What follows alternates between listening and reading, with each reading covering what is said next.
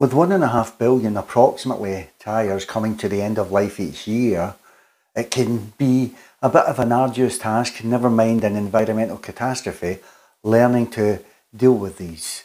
And whilst the content of this blog is dealing with one particular uh, engineer and his plans to produce a 100% recyclable product, I thought I would look at a couple of other uses of tyres.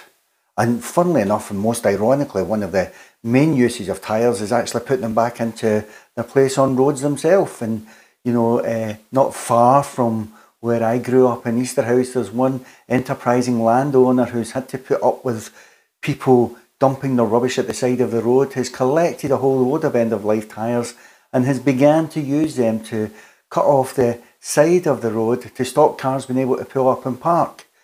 With one and a half billion tyres reaching end of life every single year, there just seems to be too many lying around. And you know, some people have used very, very creative ways to try and deal with this problem. And if we just swing around here, you see here that local landowners, Paul and Christine, have got some end of life tyres and they're using them to stop people trying to dump one other type of rubbish. It's a problem that needs resolving.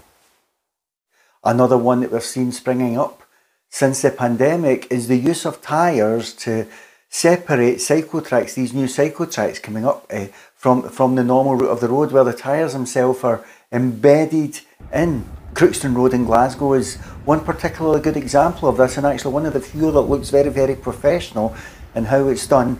And you, you know, it's interesting all the different uses we talk about all the many, many different ways that tyres have to be recycled from the attempts to draw fuel out of them into them being recycled rubber and plastic and everything else.